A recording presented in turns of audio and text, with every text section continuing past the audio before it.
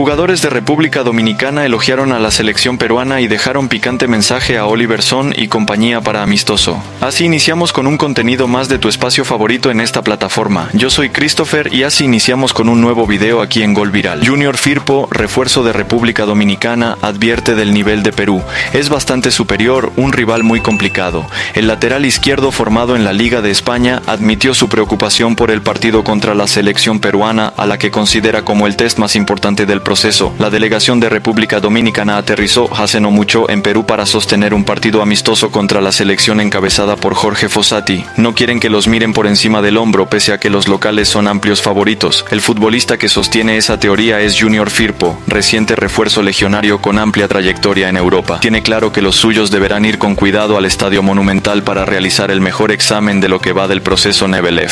Es bastante superior a Aruba, es un rival bastante complicado, dijo el lateral de Leeds United en conversación con ESPN nada más al finalizar su primer choque amistoso en Cibao. Creo que será un gran test para ver realmente ver en el nivel en el que estamos hoy en día y a partir de eso crecer, añadió Firpo, cuyo debut con la camiseta de República Dominicana recibió la aprobación total de todos los medios. Se espera que sea de la partida contra Perú en el próximo cruce de fecha FIFA. La intrahistoria de la llegada de Firpo a República Dominicana, los quisqueyanos siempre anduvieron detrás de aquellos futbolistas de ascendencia dominicana anclados en el exterior para reforzar al plantel. La tarea no fue sencilla al comienzo, pues muchos de ellos presentaron negativas rotundas por el nivel del fútbol centroamericano toda vez que estaban esperanzados en hacer una línea de carrera en los países que los acogieron. La historia cambió totalmente a partir de la llegada del entrenador argentino Marcelo Nebelev, quien se dedicó al 100% en liderar un proyecto de captación internacional e intentar convencer a ese grueso contingente legionario a partir de la veracidad de su plan de fichajes. Así las cosas, uno de los primeros en dar su brazo a torcer gracias al estratega de República Dominicana fue Junior Firpo, quien ahora se ha comprometido a dar todo de sí con su nueva selección para llegar a la Copa del Mundo 2026 y ganarse un espacio en la delegación que disputarán los Juegos Olímpicos 2024. Lo de Firpo comenzó hace un año cuando asumí en enero del 2023. Empecé a contactar a todos los jugadores que estaban afuera. Hice un viaje a Europa donde visité a Junior, por ejemplo, y enseguida tuvimos una buena relación porque le fui bien claro en lo que necesitaba y quería. Él fue claro en lo que pensaba que tenía que hacer en la selección, comentó Nebelev en una entrevista con Infobae. Entre las novedades del once inicialista de la selección peruana ante Nicaragua, más allá de algunas ausencias, resaltaba el nombre Joao Grimaldo a raíz de la posición en la que se le ubicó en el campo de juego. Como se recuerda, el futbolista de 21 años suele jugar de extremo en Sporting Cristal y, debido a su virtud de velocista, se mantiene pegado a la banda. Sin embargo, Jorge Fossati decidió reconvertirlo en volante interior por izquierda, principio, y no solo le terminó resultando de acuerdo a sus características, sino que no tuvo que esperar mucho tiempo para ver los resultados, pues Grimaldo fue autor del primer tanto de la era Fossati a poco más de dos minutos de juego. Nueva posición, Joao Grimaldo gritó su primer gol anotado con la selección peruana en el arranque del amistoso ante Nicaragua y el festejo tuvo cajón incluido en Matute. En la previa del encuentro, la duda era cómo iba a rendir el extremo de 21 años en la posición en la que se le estaba colocando, ya que, desde la alineación que se manejaba, no jugaría como carrilero, sino de volante interior por izquierda acompañando a Martín Tábara como ancla y a Wilder Cartagena como volante interior por la derecha. Su característica velocidad tiende a ubicar a Grimaldo pegado a la raya, tal como es utilizado en Cristal. Sin embargo, Fossati decidió usarlo como habilitador, llegador y creador en el mediocampo tanto como interior por izquierda y a lo largo del partido también por derecha. Si bien lo natural es que en el 3-5-2 sea lateral volante, Grimaldo demostró que puede jugar por dentro y llegar mucho al área rival, tal como ocurrió en la jugada de gol tras la habilitación de Andy Polo. Paolo Guerrero quien se barría para poder llegar al balón, pero al no alcanzar fue Grimaldo quien también pisó área rival jugando por dentro y mostrándose como otra opción de ataque. En tal sentido, las indicaciones de Fossati con el volante celeste y considerando al rival era que su rol sea mucho más ofensivo, cercano a Guerrero y La Padula y por tanto de la marca se preocuparía Martín Tábara, quien hizo de ancla y jugó más cerca de la línea de tres defensores. Otro detalle es que Grimaldo se sintió bastante cómodo al jugar con Tábara, a quien conoce de cristal.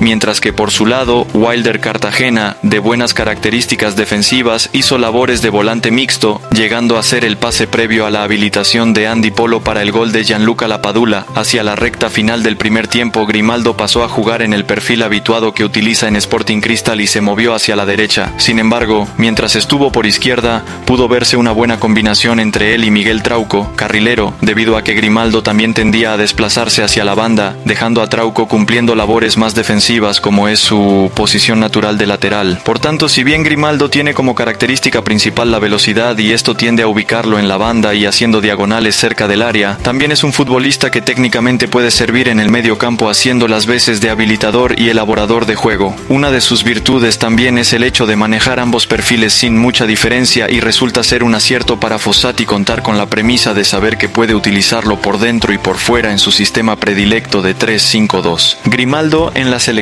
Si bien el último viernes fue su primer gol con la blanquirroja, Joao Grimaldo ya tiene cinco participaciones oficiales con la selección al haber sido convocado por Juan Reynoso para los encuentros ante Paraguay, Brasil, Chile y Argentina por las últimas dos fechas dobles de eliminatorias.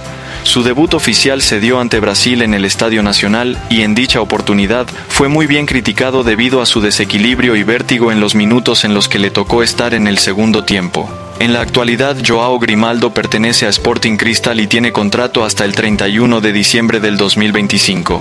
Se encuentra valorizado en 1,5 millones de dólares y es, sin duda alguna, uno de los jugadores promesa con los que cuenta la institución rimense. Pero, a ver, eh, entiendo el, el desarrollo de la idea y todo esto, pero siendo un equipo defensivo, hemos sumado un punto y hemos hecho un gol. O sea, creo que este, este es una de las. O sea, claramente del, del- del- el éxito de Gareca fue cuando el equipo dejó de recibir más de dos goles. Cuando Perú empezó a recibir solo entre cero y un gol, agarró una racha muy grande. Cada vez que nos hacían dos goles, es prácticamente imposible, salvo algún 2 a 2 aislado, 3 a 2 no hemos ganado nunca.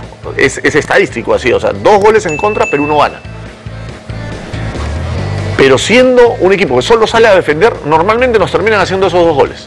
O sea, nos pasó en Santiago, nos pasó en La Paz, eh, y puedo, puedo seguir enumerando. Excepciones Colombia, Ecuador, algunas, ¿no? O sea, Colombia, siempre hay, Ecuador, por- por el siempre, hay un partido que te, que te salió bien, ¿no? Pero eh, a la, a la- a la hora, a la hora de- del éxito, eh, Gareca encontró un equipo que con confianza era capaz de salir a jugar el partido en tres cuartos de cancha y a 25 o 30 metros de, de Galese. No jugaba tan, tan metido atrás y de hecho le iba encontrando confianza al partido en la medida que se, se- sentía que también podía hacer daño adelante.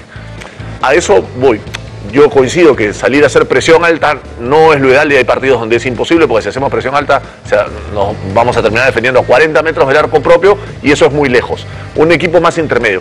Pero a mí sí me gusta que, que no tengamos un técnico que esté pensando en, no, hay que, hay que tirarnos atrás. Nosotros tirándonos atrás somos muy malos. Somos un equipo que en esencia cuando se tira atrás termina recibiendo muchos goles. Yo prefiero un equipo que No, salga, porque además- salga a buscarlo. Salga Porque además la posición en la tabla, la cantidad de puntos, nos obliga a salir a, a buscarlo. a salir a No buscar. Podemos salir a, a- a- Claro. a ver qué pasa en Lima contra Colombia. No. El partido de Colombia con España es. Dale 40 metros a Luis Díaz para que veas. Te hace cuatro goles. Claro. Solo. ¿No? Solo. Entonces, va a tener que haber una preparación importante. Por eso yo creo más en Tapia como último.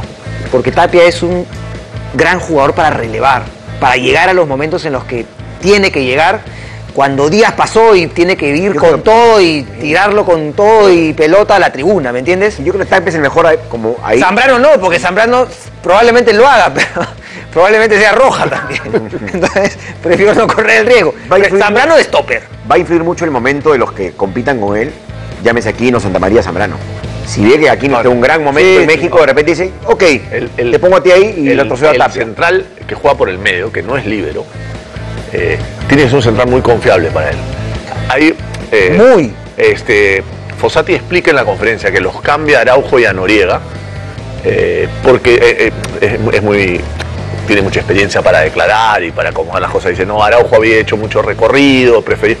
No, hay una jugada que Noriega queda solo con un que le abre, la- le abre las piernas y la pelota casi pasa, que era un mano a mano. Sí. De- y, y creo que ahí Fossati se da cuenta que, que cargarle a Noriega en un momento de un debut, una cosa así, Claro. el jugar de último, último, porque ese último a veces juega uno contra uno. Sí. Juega mucho, en muchos momentos uno contra Y ahí necesitas uno que sea bueno para el uno contra uno, un, un defensor con mucho oficio. Porque además Noriega tiene un defecto que tiene que ir corrigiendo con el tiempo, que la mayoría de pelotas que recupera son yendo abajo. Sí. O sea, él, él recupera mucha pelota tirándose de, de carretilla. Que- y que sepa Sí. recuperarse ese jugador. Claro. O sea, Ah. que no abandone Claro. en la primera. No, no, no pasa. no, que no permita pasar. Exacto. Y bueno amigos, ¿tú qué opinas sobre el rendimiento de Joao Grimaldo en la selección peruana? ¿Crees que será el futuro crack de la Blanquirroya? Déjanos tu apreciación en la callita de Abayo y nos vemos como de costumbre en un siguiente video futbolero aquí en Gol Viral.